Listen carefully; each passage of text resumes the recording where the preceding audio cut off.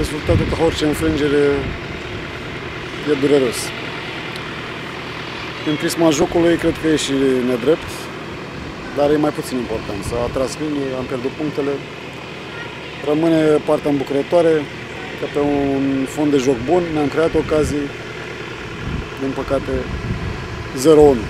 Am suferit, am suferit lipsă de, de atenție, nu știu ce să spun. Și dintr-o fază banală care nu anunța nimic, am luat un gol pe care n-am mai putut să-l întoarcem.